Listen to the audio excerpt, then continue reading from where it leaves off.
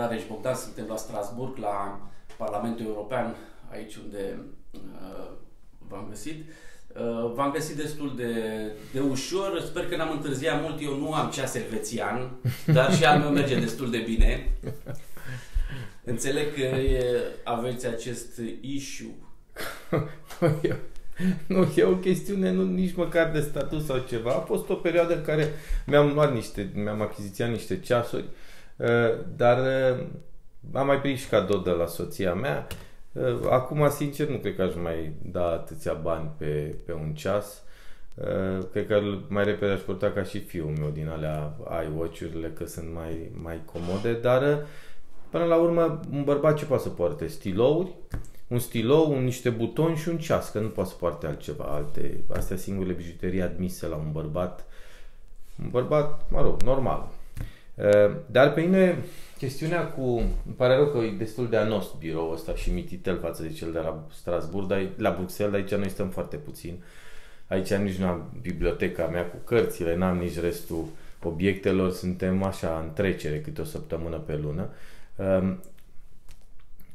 M-a, m-a șocat puțin uh, atacul care a fost bine încărcat și cu forță de PSD, care a vrut să întoarcă un, uh, o vorbă aruncată de mine aici la Strasburg, într-un interviu cu domnul Zahman, uh, legat de pantofii domnului premier, s-au trezit să atace cu ceasul, spunând, domne, de parcă nu poți să ai un ceas. La mine, din, eu le-am trecut în declarația de avere, Ia, ia arătați-ne ce că... ceas e. Ia să vă deci. Hai, arătați-ne A, puțin, că nu e... Nu, e un breghe, nu, nu e... Un, ăla era un... Cum, cum se numește? Breghe. Da, mai sus ceas, puțin să E un ceas da. care e mai puțin cunoscut, dar e un ceas foarte e. frumos. E... Acesta e ceasul care l-a avut și Napoleon, firma aceasta. Da. Dar nu okay. e. E o companie mai, mai puțin cunoscută E un frumos. Da. Ei, vreau să vă spun că acela nu, acela era un rol exprimit cadou de la soția mea, care nu căsa. Prima dată când am văzut într-un site că e 36, zic, domnule, dar ce cadou mi-a făcut așa de scump? Nu a fost chiar atât, că mi-a zis că l-a plătit undeva la jumătate plus ceva din prețul anunțat, deci era dat pe el vreo 22 de mii. Dar să ne înțelegem, eu cred că da, nu asta, știe. Asta cât e? Asta e vreo 9, 10, 11 mii, nu știu exact. Asta e mai ieftin. E mai ieftin. Rolex e mai scump. Uh, sunt breghe mai scumpe decât Rolex-ul ăla, dar eu ăsta l-am, mă rog, l-am de mulți ani. De și câte mai aveți asta? Că nu m-am uitat sincer, n-am La declarație, la ceasul, păi am, am valoarea lor, valoarea lor e trecută, cred că e 200-230 de mii valoarea ceasurilor mele și ale soției, că împreună sunt. Sigur, ea are mai multe decât mine. Dar ce Dar faceți, domne, cu, cu, cu garsoniera aia la, la încheietură? Asta e, nu e o chestiune, v-am spus, e, asta e un anumit, un anumit statut care ți-l dă o, o... Eu m-am simțit bine cu, cu el. Acum nu o să renunț la ceas, să port ceasuri. M-am uitat dacă am un ceas mai ieftin. V-am zis, am doar cel uh, iWatch-urile, dacă mă apuc să-l port, dar nu prea se poate costum. Așa, ca să par că vreau să fac o demonstrație că vai de mine, sunt foarte uh, Uh, normal și natural. Eu mă consider normal și așa, pentru că vă spun, sunt obișnuit deja. S-au luat de mine cu batistuțele. Domne, dar ce porți batistuțe? Purta bunicul meu și el m-a obișnuit, el m-a învățat. Nu se purtau pe, când am început eu să port batistuțe. După care, domne, dar de ce ai costume? Ei, ce să umblu? În, să umblu în uh, salopetă. După asta, chiar umblam la emisiunile mele care le realizam. După asta, acum au avut cu ceasul. Păi, ce că oamenii nu știu. Eu în 97, uh, după ce am terminat facultatea, 95-96 am terminat uh, Universitatea Babeș-Bolyai și masteratul, uh, am construit o rețea de distribuție de accesorii și telefoane mobile. Dealer Connex era pe vremea aceea, apoi urma, s-a transformat în Vodafone, au fost cumpărați de Vodafone. Și am avut la un moment dat undeva la 17 magazine pe care prin 2003 le-am vândut, 2002-2003, pe o sumă frumușică unui mare distribuitor francez uh, care a intrat în România și cu banii respectivi am făcut imobiliare și am investit în presă, că am, am devenit, uh, am devenit, uh, uh, am luat franciza de la ziarul Ziua de Cluj și apoi franciza Realitatea, uh, care și acum există Realitatea FM, nu mai este Realitatea TV Cluj și uh, Ziua de Cluj în continuare. Site și ziar tipărit. Ajunsese cel mai important instituție media din Cluj. Dar între, pe, în perioada asta, vă spun, ca să dau, vă dau doar un exemplu, de asta mie nu mi s-a părut o chestiune, suma, sigur că e o sumă mare, dar gândiți-vă că doar când făceam abonamente în preajma Crăciunului, undeva pe vremea asta, în anii 97, 98, 99, 2000, când era febra telefoniei mobile, ajunsesem dealer expert, uh, cu magazin specializat, aveam două în centrul Clujului, strada Napoca și Universității, pe un abonament primeam între 90 și 130 de dolari. Și în perioada aceea, pe zi, făceam 5-600 de abonamente, deci o cotiți dumneavoastră banii. Erau bani mulți. N-am știut eu să-i gestionez cum trebuie, pentru că probabil deveneam un fel de uh, să nu dau un nume, dar mult mai important în, în zona de uh, business decât în zona de uh, media. Cert este că am făcut bani frumoși pe, în perioada aia. Mi-am luat și un apartament și o casă și am și cheltuit foarte mult. După care am intrat în media am vândut ziarul după câțiva ani pe care l-am fondat unui om de afaceri, Sorin Dan din Cluj, și l-am vândut cu vreo 600 de mii de euro și după care l-am răscumpărat pentru că el s-a retras din zona de business de media și mi l-a revândut înapoi pe o sumă mai mică, că nu îl interesa foarte mult business. Și a zis, domne, ia-l înapoi că am stat trei ani de zile, cheltuieli multe și businessul e greu, businessul de media. Și după asta am făcut o rețea de am devenit uh, principalul deținător al rețelei Realitatea TV stații locale. Am avut 9 stații locale Realitatea în Ardeal, de la Baia Mare la Târgu Mureș, de la Alba la uh, Brașov, Sibiu, Cluj, normal, și în afara Ardealului la Timișoara, la Galați și la Constanța.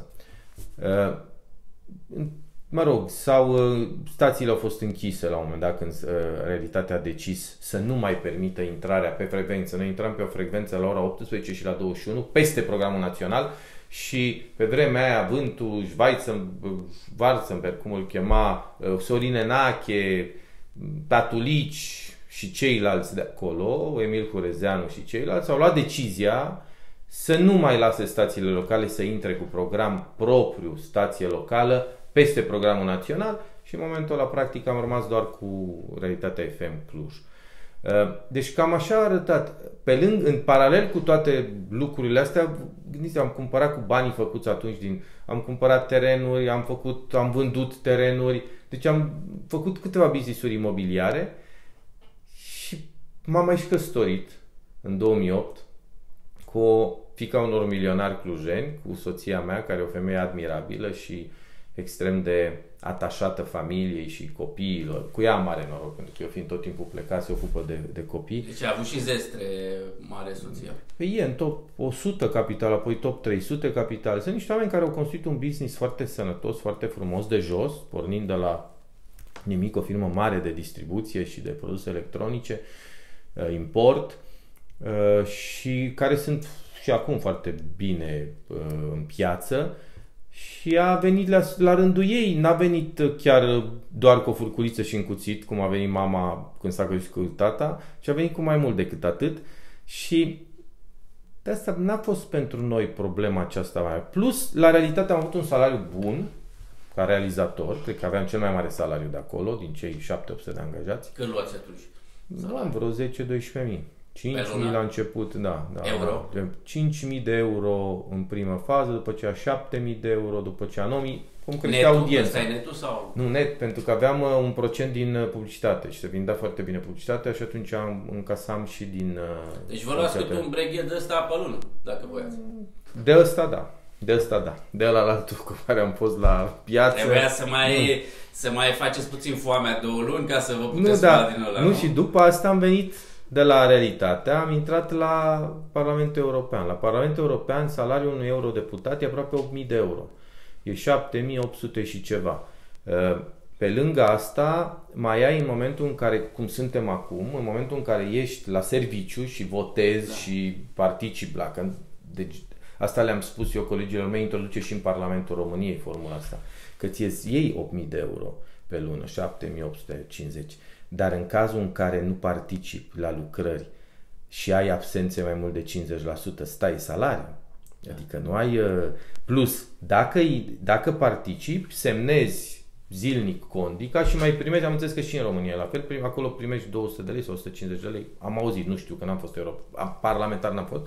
Și mai primești o sumă din care îți plătești hotelul și masa. Un fel de diurnă, și da? Diurna care îți plătești hotelul, masa, plus decontarea biletelor de Deci de faceți, nu știu, pe lună, acum cam cât faceți așa ca europarlamentar? Păi, având în vedere că particip minim 3 zile pe, săp- pe săptămână, minim 3 zile sunt la Bruxelles sau Strasburg, se o cotește 320 ori 3, încă 960 de euro, ori 4 săptămâni. Da. Dar, repet, câștigi, iei încă 4.000 pe lângă cei 8.000, dar din ei trebuie să îți plătești chirie dacă ai chirie sau să îți plătești hotel. Sigur că prețurile hotelului la Strasburg sunt ceva mai mari, dar în rest la Bruxelles ă, cele din jurul Parlamentului pentru eurodeputați anumită te costă cam 130, 150 de euro, 100 de euro camera de hotel pe noapte, pe noapte. Adică mai rămâi cu ceva de acolo. Rămâi dacă nu ești Jareș Bogdan să cheltui banii ă, Că eu dacă invit un comisar sau invit un ambasador sau invit un coleg din șef de delegație nu mă duc la șaurmerie, nu-i duc nici la... ci fac niște mese. Cred eu că politica și diplomația înseamnă și asta. Le ofer o șampanie, le ofer un whisky, le ofer o masă de calitate, le ofer... Adică nu pot să mă duc cu un dita mai ambasador uh, uh, la, să mănânc la șaurmeria din colț, că așa vrea nu știu ce domn, că domnule, dar de ce te duci la restaurant? Sau de ce te duci, de ce ai un stilou de care? Ia, Mont Blanc, ce e ăla? Da, am, am, și în de declarație sunt trecut. Deci sunt uh, colecționar de stilouri, îmi plac stilouri. Cât este un Mont Blanc de ăsta? E, nu știu, 800, 1000, 1300, 1400. Dar ce are așa? Ce scrie păi singur? Ce faci? sunt, nu, astea sunt stilourile. Nu cred că mai am unul aici, un, mai am un, pe un, a, uite, mai am un, uh, scriu doar cu stilou. Scriu de când am, de copil doar cu stilou, deși scriu destul de urât, ar trebui să scriu mai frumos. Uh, caligrafic, mai profesor de română franceză și da, tot timpul mi atrăgea atenția și bunicul Dumnezeu să-l dignească, a fost învățător. Scriu destul de dezordonat uh, pentru... Și ăsta e tot un stil fost.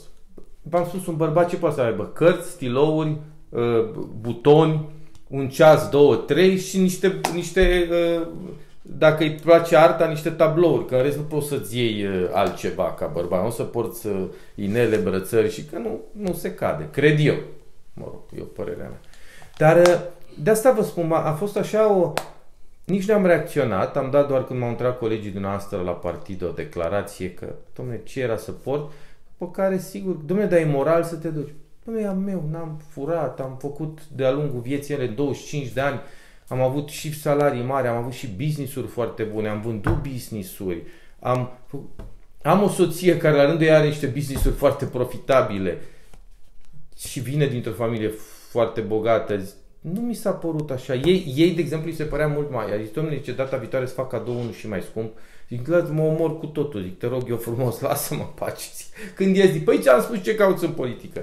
Ce-ți trebuie ție politică? Avem, păi zic, poate facem ceva, poate să schimbă ceva, deși greu, dar mai încercăm.